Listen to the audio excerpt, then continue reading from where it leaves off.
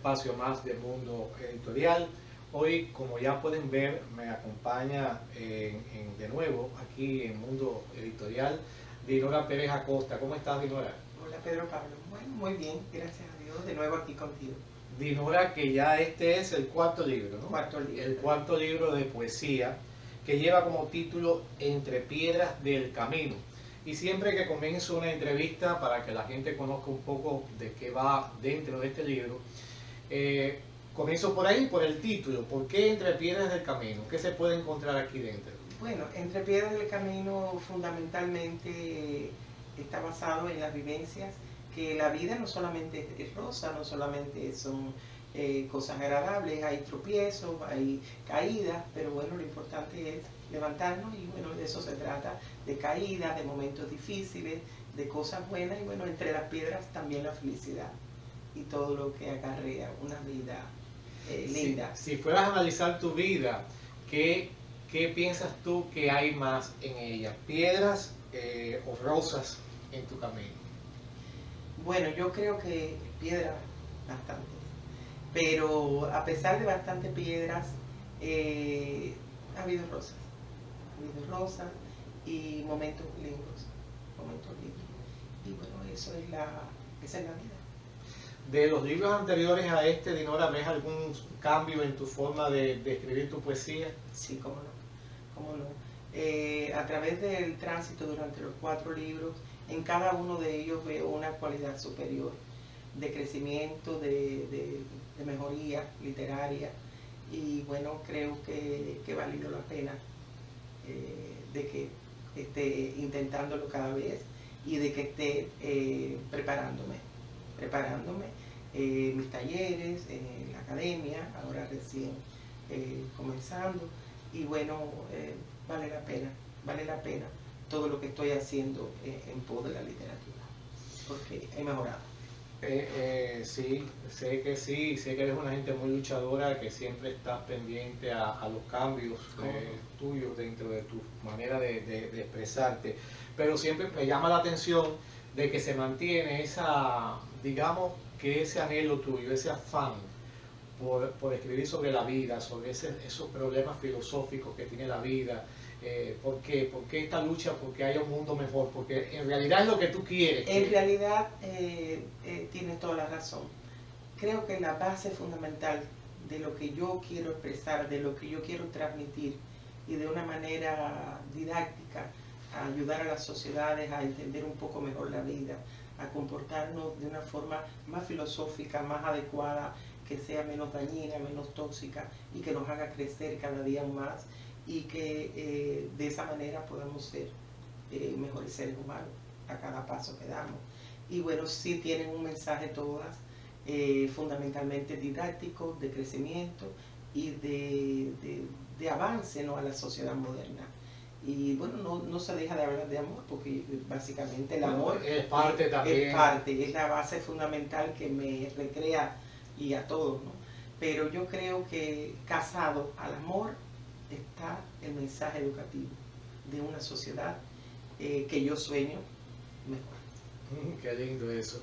Amigos, vamos a ir a un, corte. Antes de ir a este corte de promo, quiero eh, recordar que Entre Piedras del Camino, junto a, tu poemario anterior, Amor y Vida. Amor y Vida, van a estar presentándose el jueves 28 de julio a las 7 de la noche en el auditorio que está en el instituto que está en la 40 y Flagger junto a Dinora Pérez Acosta también se van a estar presentando dos libros del escritor e historiador Alfredo Ballester. Así que los esperamos jueves 28, 7 de la noche en el auditorio de Flavio y la 40. Ahí vamos a estar presentando estos libros de estos dos autores de la casa editorial Publicaciones Entre Líneas. Regresamos enseguida.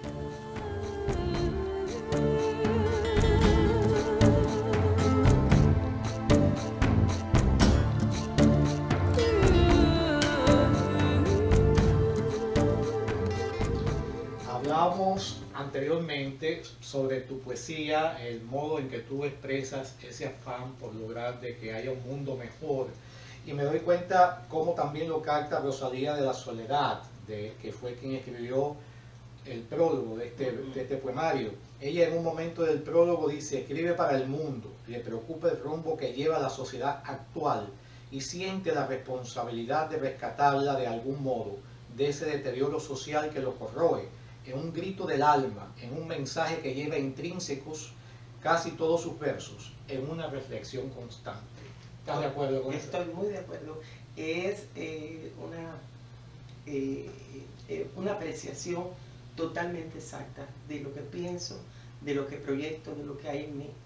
Creo que sí, que yo no sé por qué siento responsabilidad en el rescate del mundo, de los jóvenes, de los propios eh, adultos, no solamente jóvenes, cometemos errores, creo que los adultos también estamos dados al rescate.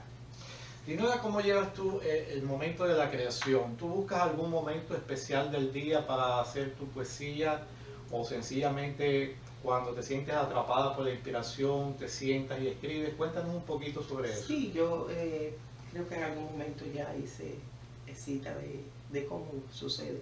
Pero fundamentalmente en la noche, que es cuando ya uno está un poco más relajado, que ya terminó los quehaceres, es cuando más eh, dedico el tiempo. Pero la musa a mí me visita muy a menudo. Eh, la mañana, mediodía, manejando.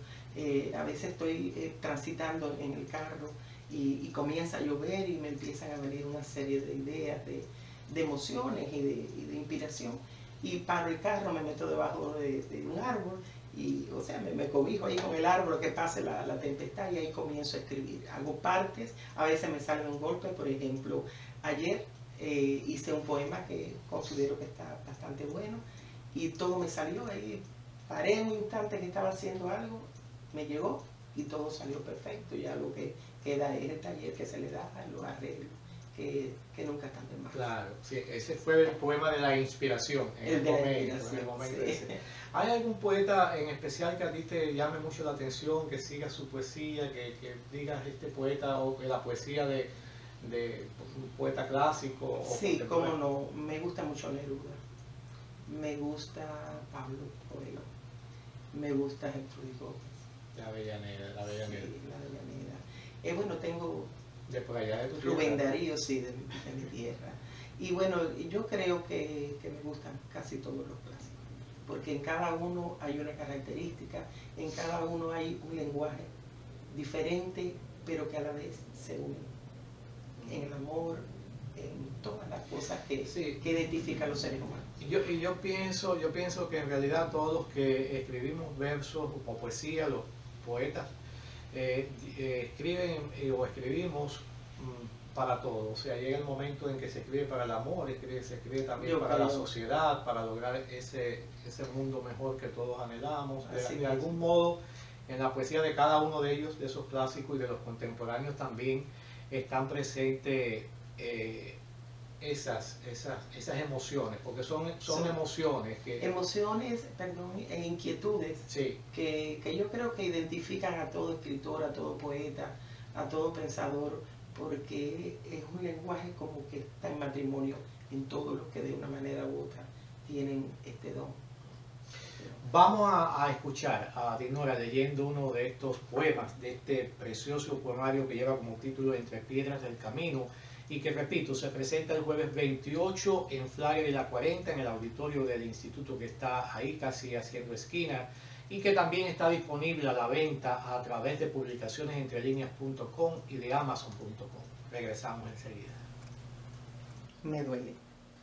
Me duele el corazón cuando te extraño. Al extrañarte, vida mía, se me arruga el alma. Envuelvo triste tu recuerdo en pañuelos de seda color blanco los rocío con perfume, aquel que usabas hace años. Los tomo entre mis manos, me voy a mi rincón, donde solo yo en mi soledad hablaremos con ellos.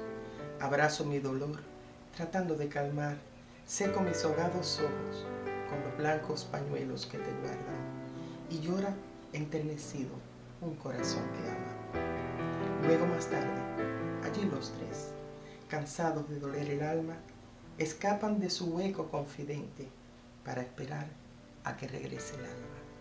Vengo de regreso conversando con Dinora Pérez Acosta sobre su poemario Entre piedras del camino. Le escuchamos ahora leer uno de, los poemas que integra quedan en este libro. Dinora, ya casi llegando al final de esta pequeña entrevista, cuéntame, ¿sigues escribiendo narrativa? O Bueno, estoy trabajando en, dos o tres cosas, eh, haciendo algunos cuentos, cuentos cortos, eh, la novela, que esa me toma un poco más de tiempo, eh, sobre mi vida, y la policía, que eso está en espera porque lleva un proceso más profundo.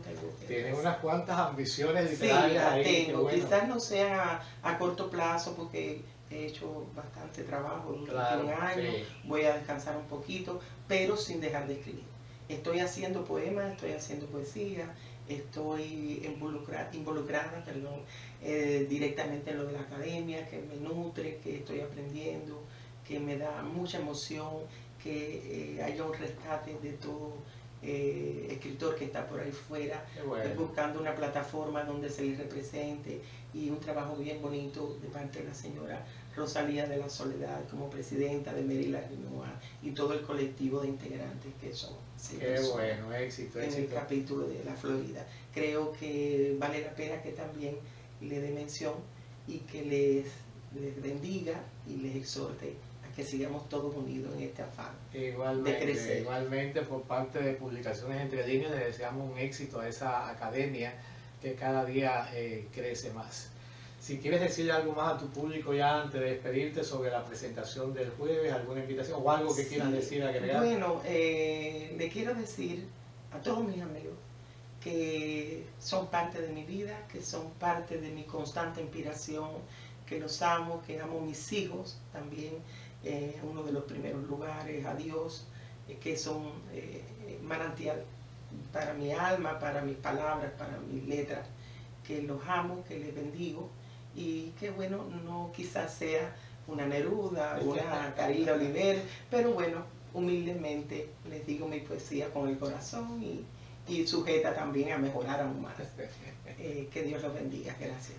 Por mi parte los invito, les recuerdo que el jueves 28 de julio a las 7 de la noche, ahí en el auditorio de la academia que está, del instituto que está, perdón, en la 40 y Flagger, va a estarse presentando dos poemarios de Dinora Pérez Acosta y dos libros de Alfredo Ballester. Allí los esperamos.